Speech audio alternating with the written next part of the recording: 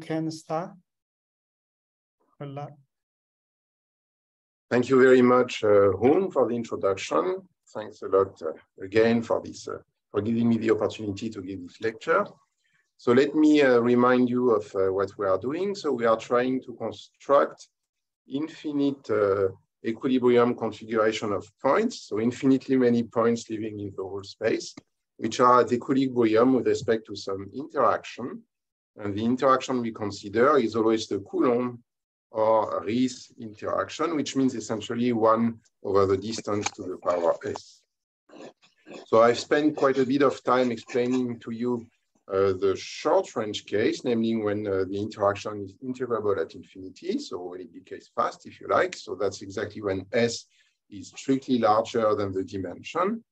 And now today we will finally uh, uh describe what's happening in the case of the long range interaction, namely when S is less than D. Okay, so let me remind you uh, of what I explained to you last time, that when S is less than D, you just can't take a domain and optimize the positions of the points in the domain and then enlarge the domain because the points, they hate each other so much due to the repulsive long-range interaction that they will all gather at the boundary and you will just get almost nothing in the middle of your domain. And what we want is to find an infinite uh, or extremely large, if you like, equilibrium uh, position for these points. So this is just not working. So what was working for S bigger than D is not working at all for S less than D. And this one can also see by looking at the minimal energy of these points, which uh, grows faster than N and uh, with a coefficient which only depends on the shape of omega. So what we will do now is uh, what I've started to explain last time. So we are going to force the points to live inside of omega by applying so, some force to them. And so there are several ways of doing it. You could add an external potential and so on. Here I will discuss the, the, the unique homogeneous way of doing it in the sense that it will satisfy all the scaling relations that we had before. So uh, if I scale the domain by a factor lambda, everything will scale the same way to respect the scaling of our interaction. And so the scaling invariant way of doing it is by adding what's called a uniform background of an opposite charge. This certainly has uh, an important physical uh, meaning because uh, it describes uh, some, uh, some charged particles which evolve in a charged background of opposite charge, as you can find in the core of some stars, for instance. but the, the, the, the, main message is that this method, which physically is usually only used for charges, actually works for any S, which might be a little bit of a surprise that it works for very small S, but it does. So what's the mathematical uh, formulation? It's the following. So we replace the pure uh, two-point interaction, which is the first sum here. Okay, let me remind you of what VS is. Where is VS? Whoops. I guess I have to go to page three or something. Show you again what VS is, sorry. So here is VS, let me remind you. Okay, so it is one over the distance to the power S when S is positive. At zero, we take minus log, which is the first non-trivial term when you do a Taylor expansion in S. And then when S is negative, we flip the sign. Okay, we put a minus. And let me remind you that this was to have some good uh, property of the Fourier transform.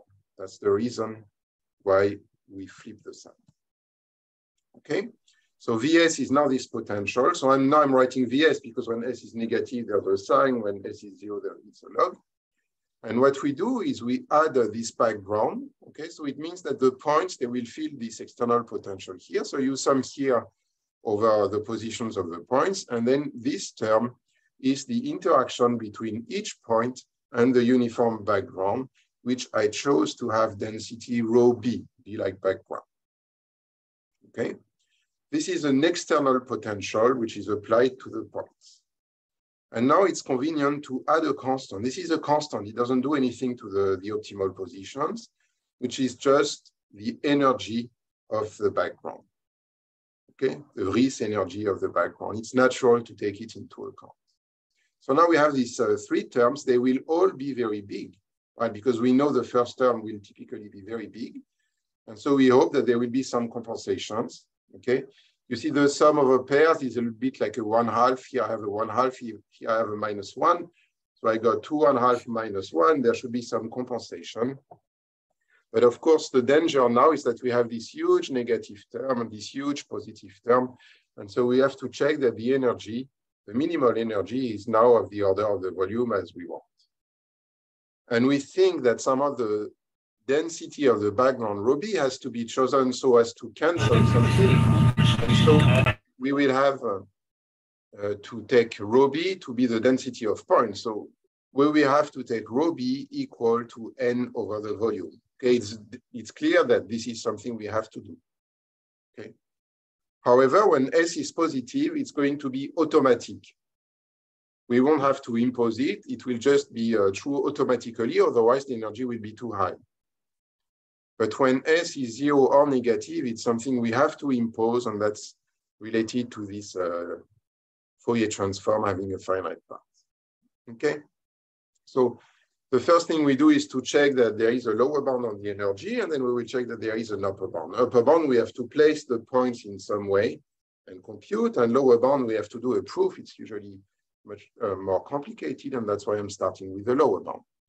So the lemma says that the energy is always bounded from below by a constant times n, the number of points, okay? And by the way, when S is negative, the energy is just uh, positive, okay? Um, as a lower bound. So you see that as a lower bound, at least, we don't get this uh, very fast power of n. Now you might say, okay, but before the energy was very large, but it was positive. And now we give a lower bound, which is negative. It's a little bit strange. But let me emphasize that when S is positive, the minimal energy will turn out to be negative. Okay? That's due to this uh, second term. Okay, so this is the, the fact that the background is uh, working well, if you like, for all values of S in all dimensions until minus two. So how does the proof go? I'm not going to discuss S equal to zero. I'm also not going to discuss S negative. S negative is easy. I can explain it to you very quickly. So I'm going to explain S positive. And the proof uh, is as follows. So that's the, the general idea. So let me, by scaling, assume that rho b is one. Okay. So the idea is to split your potential into a positive part which decays fast. Okay and another part which decays slowly, but is continuous everywhere and has positive Fourier transform. So let me remind you that our potential V is positive and has positive Fourier transform. However, it diverges at the origin, which is a problem for my proof. So what I will do, I want to somehow only retain the, the, the very positive part at the origin, okay, which is integrable, but which blows up. This I call W1. And then I also want to retain the long range at infinity, and I want to uh, keep the fact that it's positive definite. So the Fourier transform is positive. So let me write V as W1 plus W2, where W1 is positive and integrable, and W2 is continuous, so it doesn't blow up at the origin, and has a positive Fourier transform. Okay, I claim I can always do that. And now, how do I bound my energy? So of course, let me show you again the energy. The energy is linear in the potential, right? So then I get two terms. I have the energy with W1, the energy with W2. So for W1, I'm going to only keep the negative term for a lower bound. And for W2, I will keep all the terms. So how do I do? So for W1, I keep only the negative term, which is this one. And then since W1 is integrable now, I can just uh, replace this integral by the integral over the whole space. Okay, I get a lower bound because W1 is positive and I get N times the integral of W1. Okay, so I'm using here both that W1 is positive and that it's integrable. Okay. And for W2, what I do is, so I keep this whole thing here, but I write it as a unique integral. Okay. So I write the whole thing as one integral by introducing the measure nu, which is the sum of delta at the points xj minus, oh, and here I forgot rho b. Oh, no, but that's because rho b is one in my proof, okay? so minus the background. Okay, so if you take nu to be this guy and you expand this integral, you will find exactly the three terms in our energy plus the terms when j, when two points are on top of each other, which is this term here. And that's why I need W2 not to be continuous. So I need W2 at the origin to be finite. Okay, so I can write the full energy as this term minus n over 2 W2 of 0, which is the self-interaction between my points. And the whole point is that this is now non-negative, because if you write it in Fourier space, you will see it's, it's non-negative. Okay, and therefore, you can only keep this. So the conclusion is that the theorem holds with integral of W1 plus W2 of 0 over 2. This is sometimes called linear programming bounds. And this is very much in the spirit of uh, the Cohn-Kumar way of uh, attacking the sphere packing problem. Okay, that you have the potential, you split it into short parts, long part, and then you get a linear bound in terms of it. So now you will ask me, okay, but how do I know that I can split my potential this way? And here is a very easy proof. You write 1 over x to the s as an average of Gaussians. Okay, you look at this integral here by scaling, it's clear that this integral is equal to a constant times 1 over x to the s. Okay, and uh, the Gaussian is positive, uh, finite at the origin, and has a positive Fourier transform. It satisfies all the good properties. And so what you do is you just truncate the integral. So there is the part when r is from 0 to 1, this is going to give you w1. And the part when r is from 1 to infinity, this gives you w2. Okay, so it's always possible to split our potential this way. And now if you look a little bit more at the proof and uh, you, uh, be, you, you try to be a little bit more precise, so namely you do not throw away this positive term here, but you keep it and estimate it you will get the following result for still for S positive, that the energy is actually bounded by minus constant times n, but the positive term, this term, actually can be bounded from below by n minus uh, uh, the, the background, uh, I mean the number of points in the background, so rho b times the volume, squared divided by L to the S.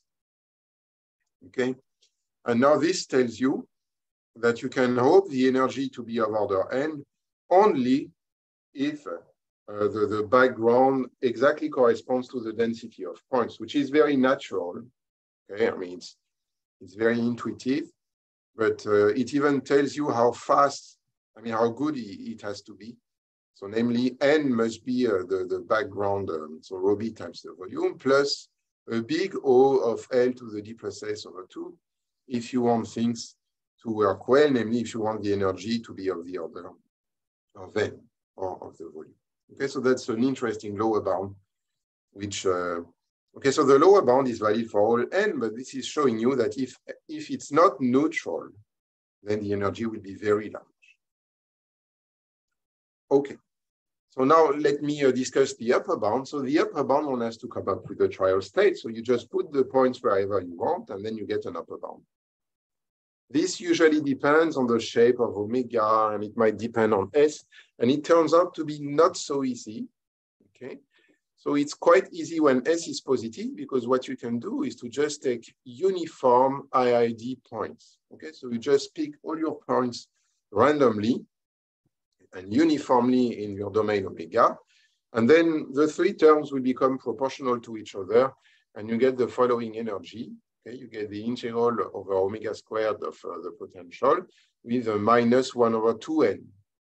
Okay, so this integral blows up quite fast, but there is a 1 over n in front which compensates. And furthermore, the integral is uh, positive, and with a minus sign, you deduce that the energy is always negative when S is positive. Okay, so a simple upper bound when S is positive is that E is less than zero. But this is not working good for S negative because now this has no sign, or maybe a, it has the wrong signs, depending on the situation. And uh, then it even blows up quite fast. So another idea, of course, is to put the points on a lattice, as we did in the long range case. But if you put the points on the lattice, and then you have to think that each point has this little piece of background around it, which is a cube.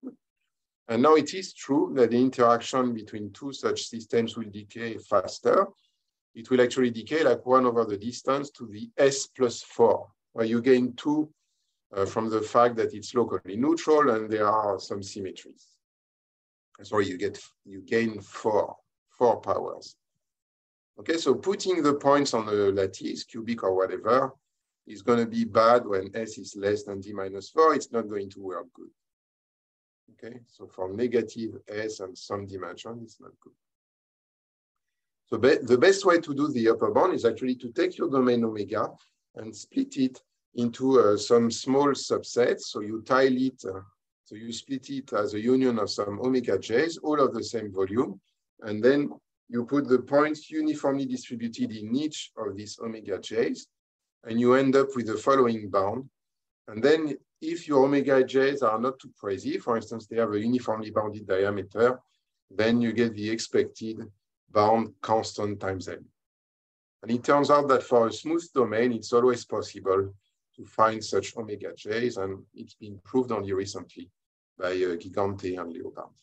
Okay, so anyway, you should just retain that uh, it's possible to prove uh, upper bound. It's a little bit more complicated. We might need uh, assumptions on the domain when S is negative, although for S positive, then the energy is just negative.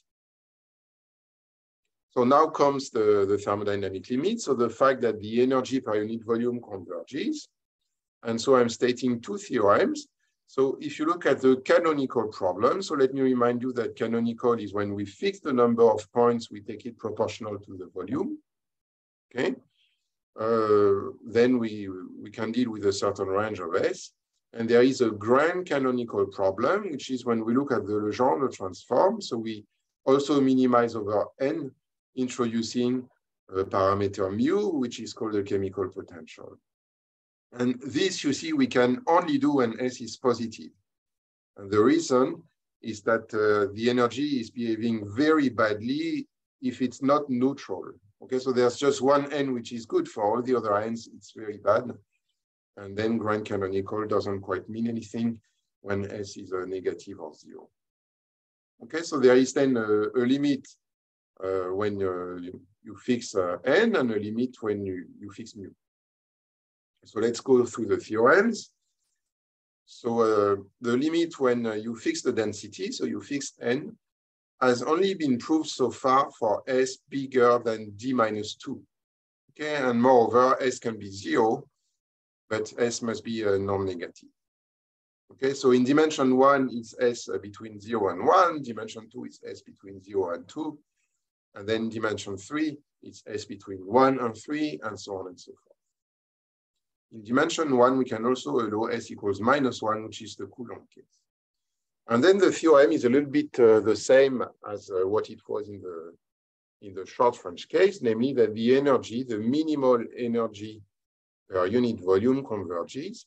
And you see that I'm using the same name for the constant. I'm calling it E of S for a reason that you will see in the next slide. And then the, the behavior in rho has to be rho to the 1 plus S over D again by scaling. And let me emphasize that rho, which is the limit of n over L to the d, is taken equal to the rho b. Okay, so I'm really choosing the background to uh, really uh, compensate the charges. So I'm taking rho equals rho b, the background, and then n over the volume is rho. Uh, at s equals zero, there's an additional rho log rho term, but this is just, again, a scaling thing because here you get just rho. And then I want to emphasize here that uh, maybe I should show you, I don't know where it is, maybe 15, let's see, no. So maybe I should show you again the similar theorem in the grand canonical case, there it is, okay, uh, sorry, in the short range case. So there we had the same limit, okay, when S is bigger than D, we had the same limit, but there it was sufficient to assume that N over the volume converges to rho, okay? we assume that n over L to the d converges to rho. Now, we have to assume more. We have to actually assume that n is exactly equal to rho times L to the d. Okay, we assume it's exactly neutral. And then we get the similar. And the reason is that we know that if n is not exactly neutral because of the background, it's going to behave badly. And actually, there is a more precise result that if you perturb the neutral case by some number q, okay, then you will get the same, the same limit as long as the perturbation is a little o of L to the D plus S over 2. Okay, and this is just because of this lemma here. We know that if N is a neutral plus L of the other D plus S over 2, a big O, then the, I mean, if it's bigger, the energy is going to be way too high. And if it's of that order, then the energy will change at uh, the order of, uh, of N. And the theorem uh, is saying that we know what is happening if Q is exactly of the order L to the D plus S over 2, okay, with some constant little q, then we get the capacity again. Okay, so the, the intuition is that these uh, additional charges which we are putting in the system, they have to escape to the boundary, and then they solve the, this capacity problem which we had on the first slide, but this uh, uh, shifts the energy per unit volume by this constant. Okay, so you need to be neutral up to the order L to the D plus S over 2 to really get uh, the, the, the limit. Otherwise, you get this shift. So let me now go uh, to the grand canonical case. So then we assume that S is positive and we do the, I mean, the kind of uh, discrete Legendre transform with the parameter mu, any mu. And the theorem says that the limit of this fs is just E of S, the rho of the background 1 plus S over D minus mu rho B. Okay. And let me emphasize that here there's no rho. You don't know what uh, rho will be. So you put a background of density rho B, and then the points, the number of points is automatic. Okay, you don't know what the number of points would be, but the theorem says that the number of points will be exactly rho b L to the D plus a little O of L to the D plus S over 2. That's because of the previous theorem. This is what it has to be. Okay. And so the rho of the points uh, will be rho b. Okay. It's going to be automatically neutral up to that order. So let me emphasize that here I have a constant, which I call E grand canonical of S. And I only know that it's the same as the other constant when the first theorem is known to hold, namely when S is larger than t minus 2. Okay, then I know the two constants are the same as one expects. But uh, as you can see, there is a region, for instance, in dimension 3 between 0 and 1, uh, where uh, we know more in the grand canonical case than what we know when we fix the number of points. So another remark is that you see that mu doesn't really do anything. Right? When we were uh, working on the short range case, uh, changing mu was changing rho. Okay, that was the idea that each time I picked a mu, then I would get a rho. But here, whatever mu I take, I always get rho equals rho b. That's because I have this background, I have to compensate it. And mu is not going to change the density of points. The density of points has to adapt the background I have chosen. Okay, so the intuition is probably that what mu is doing is more to uh, affect only the number of points which are close to the boundary. Okay, but certainly not the density of points in the bank. Okay, so mu is not doing anything if you like, right? The density of points will be the same whatever mu you take. Okay, so that's the results.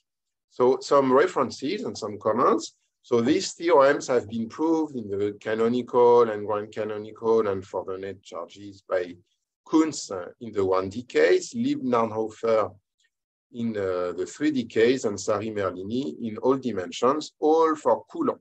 Okay, so for S equals D minus 2.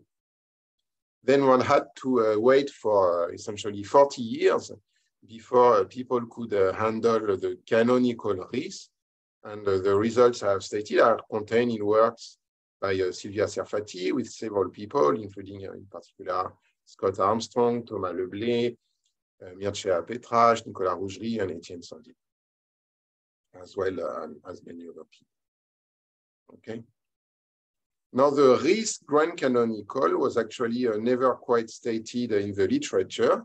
But more complicated systems have been considered, and then the proof works the same for the classical case. So more precisely, Fefferman and Greg in uh, the 80s, they considered the quantum grand canonical problem in a periodic background. Okay, so we have a constant background and it's classical for us. So that's even easier. In this case, uh, the, the same proof works and it's also actually easier. But that's grand canonical. And this has recently been uh, reformulated by uh, Cotar and Petrache. They re-explain and reformulated and even changed, uh, improved a little bit the method on, uh, of Fefferman and Greg in order to uh, treat a very uh, similar question. And then the fact that the grand canonical energy is equal to the canonical energy in the Riesz case is in my review paper. So as before, we don't know the value of the constant E, Mean the constant here, except uh, in some cases, which I have uh, mentioned here. So in dimension one, we know essentially everything. And we get the zeta of S when S is between zero and one, zeta prime at S equals zero, and minus zeta of minus one, which is one over 12, when S is minus one. Okay, and in dimensions eight and 24, we get zeta of the E8 lattice and zeta of the Leech lattice, uh, as shown uh, by Petrache Serfaty using the Cohn-Kumar, Miller, Radchenko, Viazovska paper. So here I have to be a little bit precise. So what does it mean, zeta? Let me remind you that zeta, okay, is actually a function which is defined by analytic continuation in S. Okay, so zeta is just a convergence series when S is larger than the dimension, and then when S is less than the dimension, uh, you define it by analytic continuation in S. So the conclusion of all this is that inserting the background serves as doing an analytic continuation in S. Okay. And this is why it's very important to first understand completely the short range case because we expect that in the long range situation, we will get an analytic continuation of what's happening, happening on the right in the short range case. Okay. So it is just doing an analytic continuation in S. So that's why the background is very natural. I can now reformulate the crystallization conjecture at the level of the energy. It's the same as before. It must be zeta of some lattice at S defined by analytic continuation, where the lattice could depend on S. And in fact, in 2D, it's believed to not depend on S. It must be triangular for all S between 0 and 2. Okay. And, in, and by the way, at 0, it's defined by the derivative of zeta. But in 3D, there is a phase transition. It's known from numerical results that it must be the face centered cubic as it is in the short range case for S bigger or equal than three halves. And then it starts to be the body centered cubic when S is below three halves. And at three halves, both lattices work. Okay, so it can really happen that the optimal lattice depends on S and then E of S is, of course, not analytic. It's, uh, I mean, uh, its derivative as a jump at uh, S equals 3 halves. But on the left and on the right side of 3 halves, it's an analytic function. And so for Coulomb, it must be the BCC lattice, which uh, has been predicted by Wigner in the 30s. So uh, that's the situation. So let me very, very quickly uh, tell you uh, the main idea of the proof of uh, this theorem. I'm not going to give you the proof. It's uh, really complicated, but uh, there are really three completely different methods, which I want to just uh, very quickly flash for you. So the first one is uh, the Lieb-Narnhofer proof um, in the 70s, which is the Coulomb case. Okay, so let me remind you of uh, how we proved the short range uh, similar theorem. We took a very large domain, which we tiled with cubes, and then in each small cube, we put the minimal positions of the points, which we repeat. And then we said that the interaction between the small cubes is a small, and that was using that the potential was short range. Now, if I do the same, I have problems because first I have the background, which I have to handle, and furthermore, it's not clear at all that the interaction between the cubes will be small. because it's long range. So nothing is working anymore. But Lieb and Narnhofer, they used what's called Newton's theorem, or if you like, a consequence of Newton, which is that if you have a radial charge distribution, which is neutral, so the integral is zero, say in a ball, then the potential outside is just exactly zero. So if you like, if you take several balls and in each ball you put a radial uh, charge distribution, which is neutral, then they won't interact at all. There's just no interaction. And so what they did was to use balls instead of cubes. Okay, so they would just tile with balls. And then in each ball, they put the, the, the minimal position. They can have wedge over rotations to make it uh, radial. And then they will kill uh, this way the interaction. Now you will tell me, of course, I cannot tile space with balls. I will have lots of empty space and it's going to be of the order of the volume. So what they had to do was to use balls of many different sizes so, as to, so as to fill fill the missing space and somehow get a tiling which uh, almost uh, has, then has the correct density. Okay, so it's a little bit more complicated. So they had to uh, understand how to tile space with balls of different sizes and the way you can control the size of the radii of these balls. And they managed to prove the existence of the limit using this argument. By the way, this argument is due to Lieb Lebowitz in 72, and it was adapted by Lieb-Narnhofer in the case of a constant background three years later. This is very Coulomb type, okay? Something like that doesn't work at all if you have a S different from D minus two, okay? Or maybe it could work for D minus four, I don't know, but uh, for a general S, it will not work. So recently, so there were many works by uh, Sylvia Serfaty and co-workers for S between D minus two and D. And the spirit is now completely different. The idea is to restate everything in terms of the electric field. Okay, so the electric field is minus gradient of the potential. The potential is the potential generated by the points as well as the background. And the idea is that the energy is essentially the integral of E squared. Well, not quite, because actually the, the energy of uh, the, the points themselves is infinite. So one has to do some uh, regularization. But otherwise, uh, I mean, if we forget this fact, if you think that the points are a little bit smeared out, uh, then the energy is just integral of E squared. And integral of E squared looks local. You see, I mean, if I split my domain into smaller domains, then integral of E squared just splits.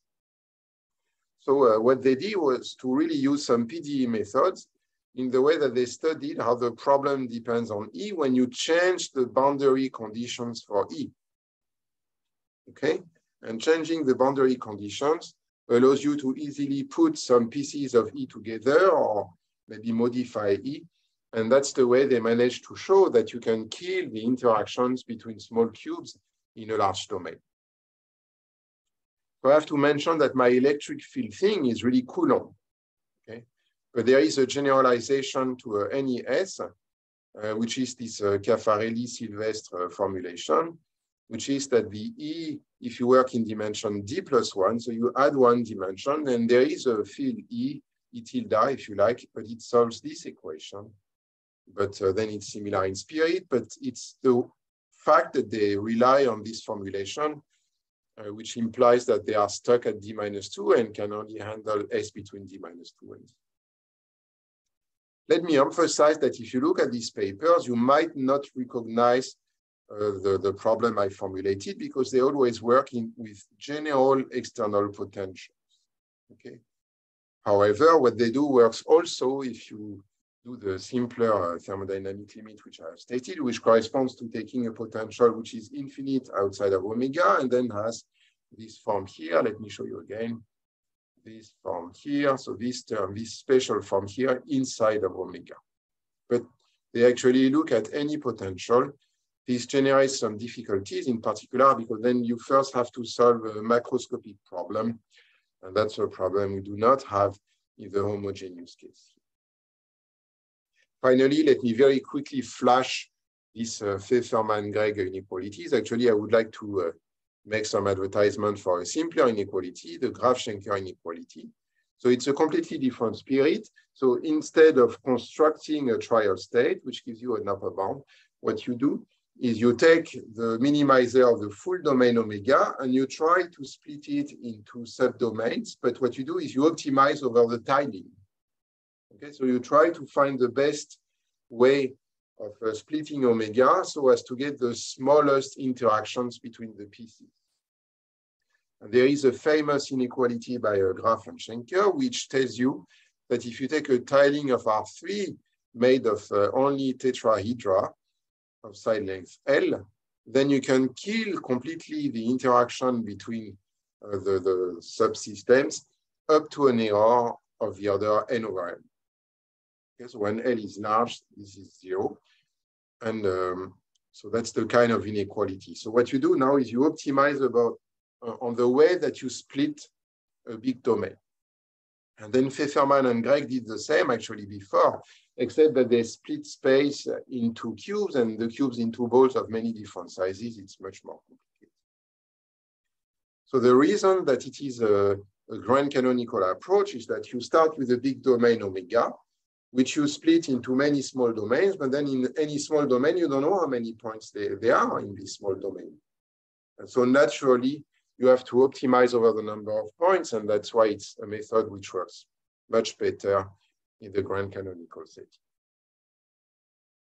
Okay, so if we follow the, the same strategy as uh, in the short range case, the next step is to prove that the points are not too close to each other and not too far from each other. They don't leave big holes.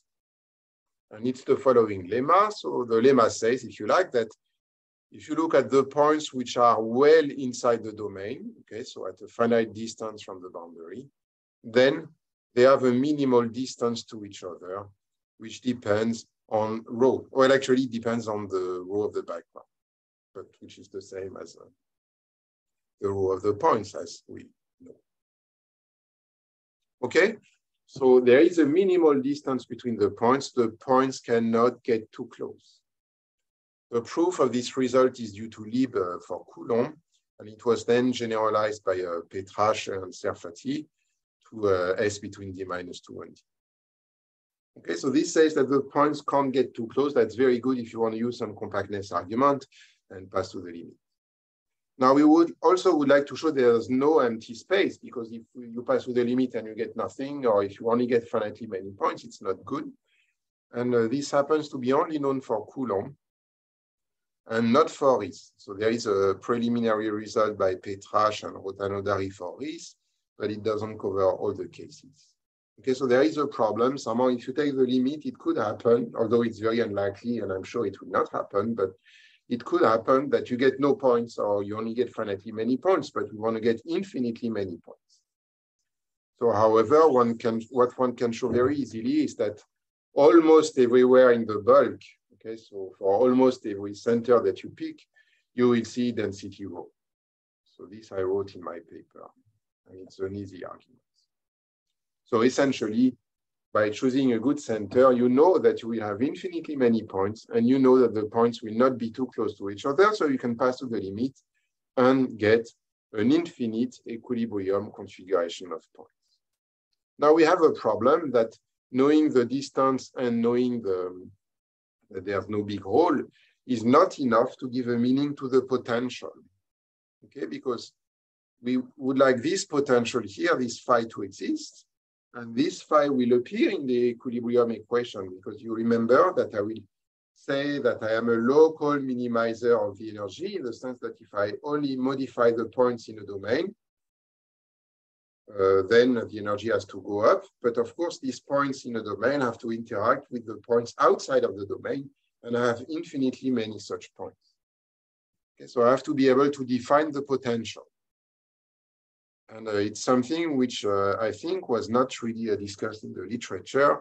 And that's what you need to be able to define equilibrium configurations.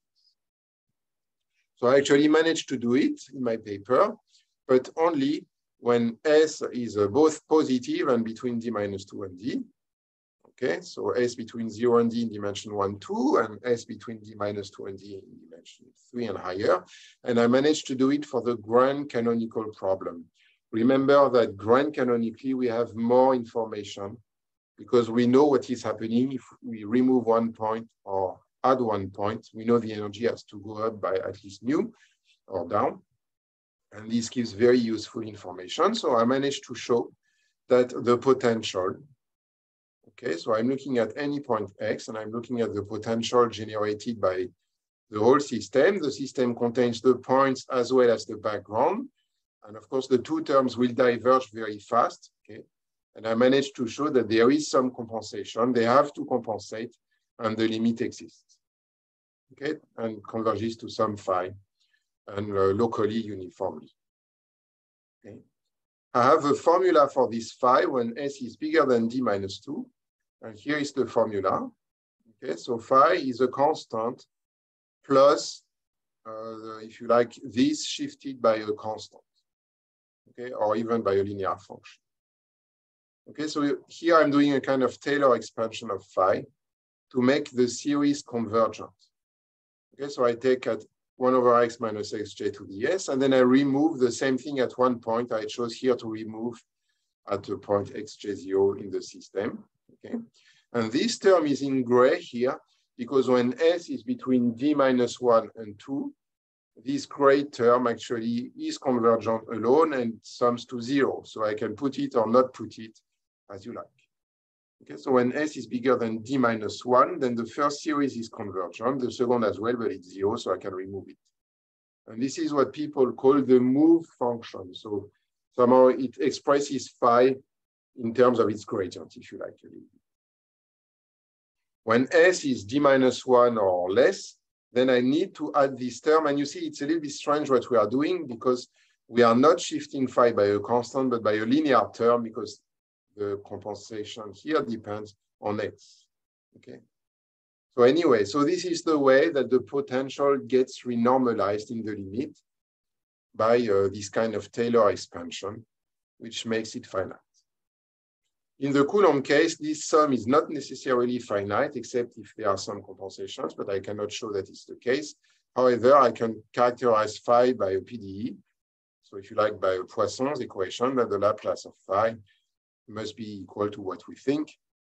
Okay, so it's a distributional solution to this equation in actually uh, L1 uniform. Okay, and I can show that solutions of this equation are actually unique up to a constant. And once the potential has been properly defined, then uh, we can give a meaning of uh, what it is to be a local minimizer of the energy. Namely, if you take a ball and you vary the positions as well as the number of points in the ball, then the energy must go up, okay? So the, the points in the ball have to minimize this problem, where here I see the potential which is generated by the points as well as the background outside of the ball. Okay, so it's just phi minus the points inside and the background inside. Okay, so it's exactly the same theorem as, the, as in the short range case, except that defining the potential, so the interaction between the points is now difficult because we only get a divergent series and we have to show that these series get uh, renormalized, if you like, automatically, which is what I proved in uh, this theorem. The crystallization conjecture is that all such equilibrium configurations are lattices, and I don't think it's been proved in uh, any case except maybe when S is minus one in 1D, but uh, then my theorem doesn't hold in this case. Okay, so I hope you've seen that the potential is defined only up to a constant, which may seem very unnatural because you think that you must know what phi is. Actually, you think that phi must be given by this limit, right?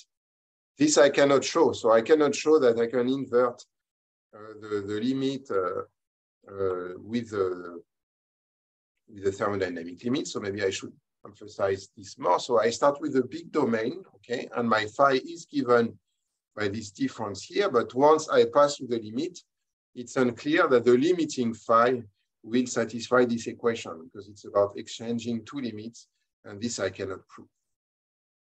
I expect it to be true, but I cannot prove it. So I can only prove this expression for phi. And anyway, you see that phi is only known to a constant, which sounds very strange. A constant we would play no role if you fix the number of points, but in the grand canonical case, changing phi by a constant is the same as changing mu. And so it's a little bit strange. But actually, there is a conjecture from the, from the 80s, which says that probably if you fix a given uh, formula for phi, so say you fix this uh, without the constancy in front, then there will uh, be solutions to the previous equation. So there will be infinite equilibrium uh, configurations only for one mu. Okay, so if phi has a fixed form, then there is a solution for one mu, let's call it mu star. But uh, the theorem was saying that the limit was existing for all mu's, but with phi up to a constant. So what is expected is that if you start with the wrong mu, then phi will pick a constant, which will change mu into mu star. Okay, so it's all about renormalization here and uh, the way that the chemical potential gets renormalized automatically due to screening in this uh, classical uh, statistical mechanical problem. But this is all open.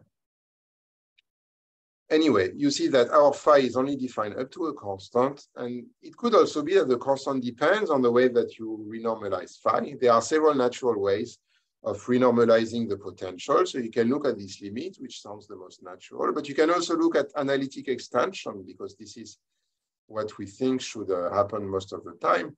Or you can look at the move function, do a kind of Taylor expansion as I did here. And uh, it's unclear whether they all work or whether they coincide, whether they coincide up to a constant, if you give me an infinitely an infinite collection of points. And that's the last thing which I would like to uh, discuss in the remaining uh, 12 minutes or so, or 13. Let me forget now these uh, equilibrium configurations of the one that I get uh, from this uh, from this thermodynamic limit. And let me discuss what I can say about the potential phi for general infinite configurations, in particular for lattices. And I will tell you that it's actually very complicated. So it's not a surprise that in this case, where we don't know what the XJs are, then we don't quite know what the constant is. So this is going to be the last part of this talk. What can we say about the long range potential of an infinite configuration of points, any infinite configuration of points, or maybe more precisely lattices? So, and this is very important and it's a problem which has reappeared many times in the physical literature. I was even part of it at some point.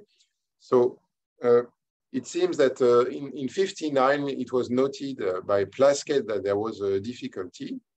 And this was then rediscovered by Hall in 79. So he wrote uh, a paper which uh, generated a lot of discussion in the physical literature that there was a problem in the fam famous computation of uh, the energy of the BCC lattice by Wigner and Fuchs in the 30s because of, uh, of a constant which was floating around. And then it was discussed in many papers and the conclusion was that, uh, was, was that it's difficult.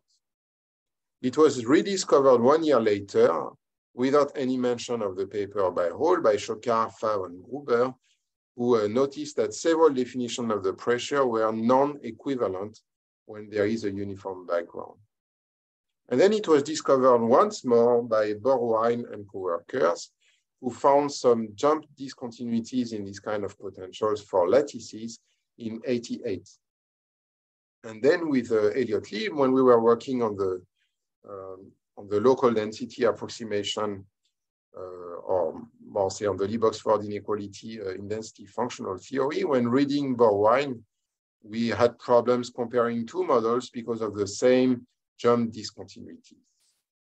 But we didn't know about the earlier paper. So you see, it's a problem which reappears uh, frequently in the physical literature.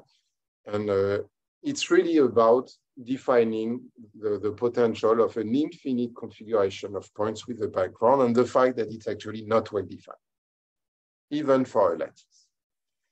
So let me explain this problem. Okay. So let me take an infinite configuration of points in RD.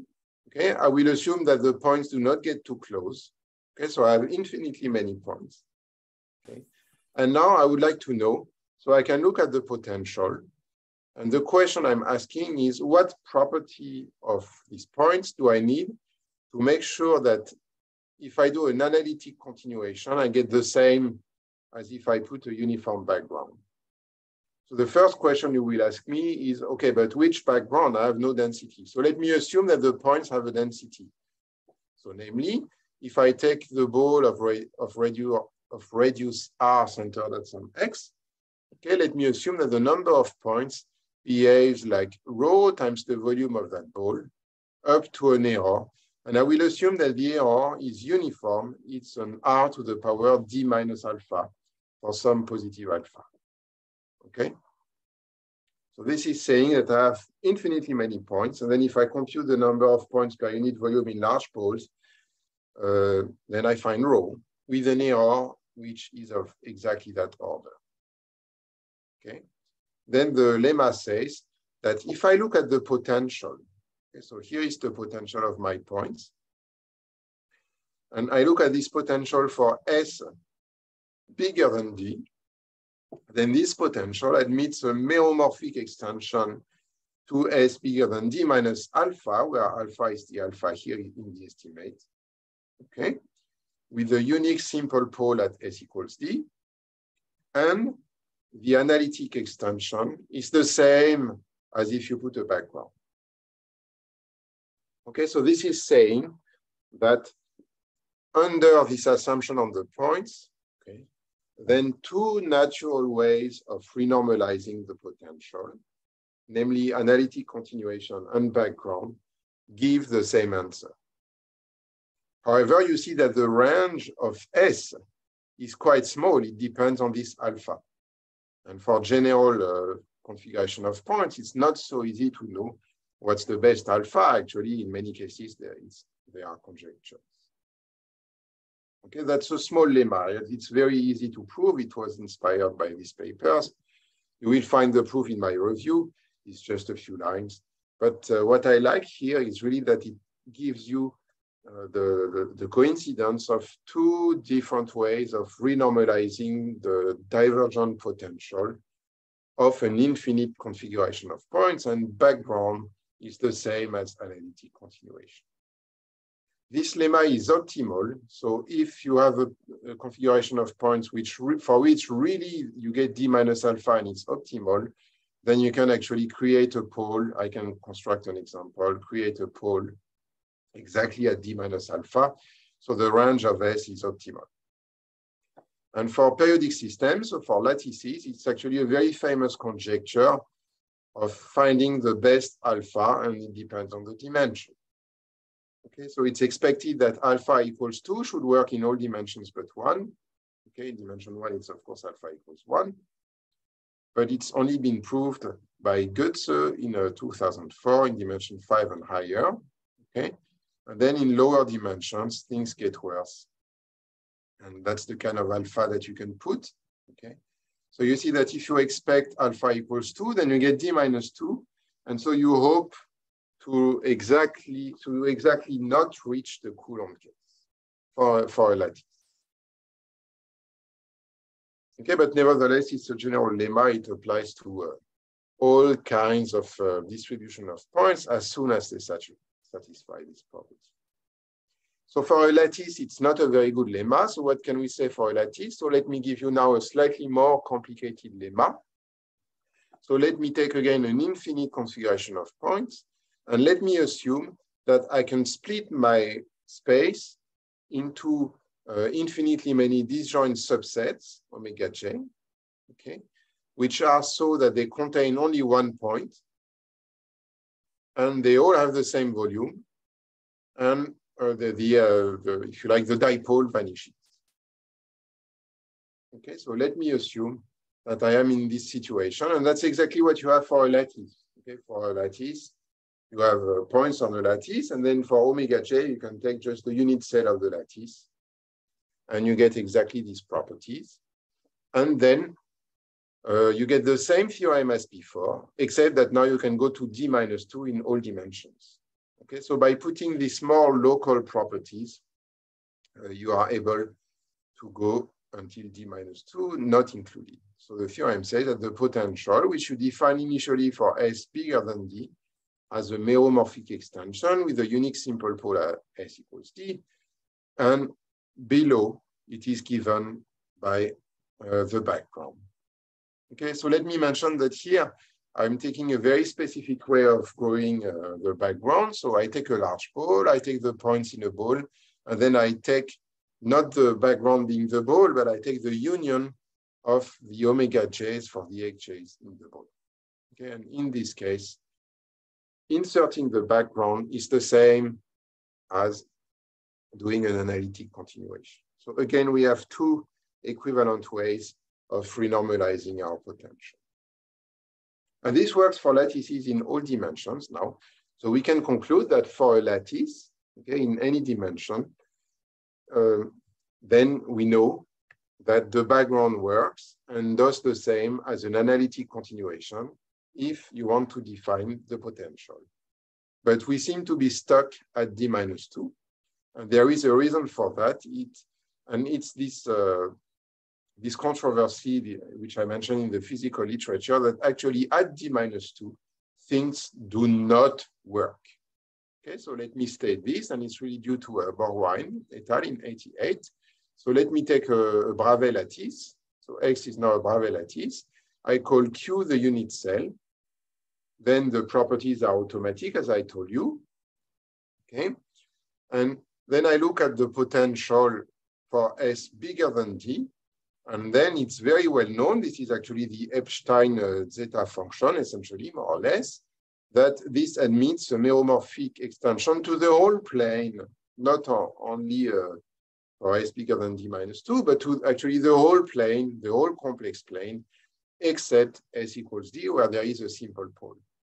Okay, so if you speak about analytic extension, uh, then the, you can reach any s, any very negative s, uh, of course, except s equals d, which is always special.